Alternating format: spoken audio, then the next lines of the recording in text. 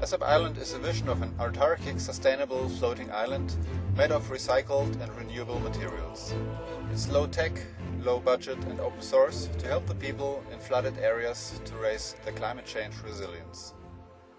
With more than 10 years of experience, we now open this collaborative project for massive interaction on the Asap Island Maker platform for humanity.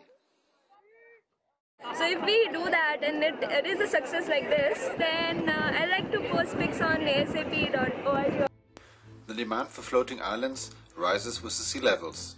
We know how to build them and invite you to join this epic adventure in India or through our global interface. First we build a flexible dome made out of bamboo.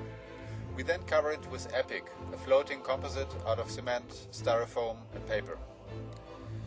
Covered with a bamboo dome, our low-tech rescue island is ready.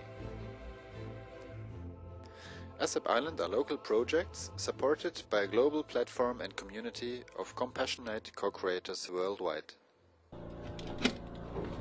We call for action. If you provide a humanitarian problem, our diverse crowd works on an open solution on the virtual maker platform.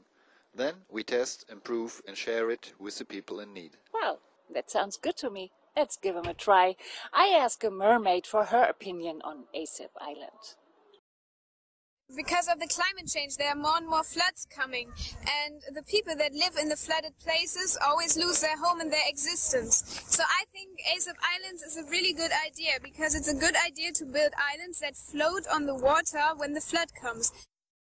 If you think so too, help us make Asap Island real and join the Makers Tribe for humanity to co-create a caring, sharing community. The next big social network will be meaningful.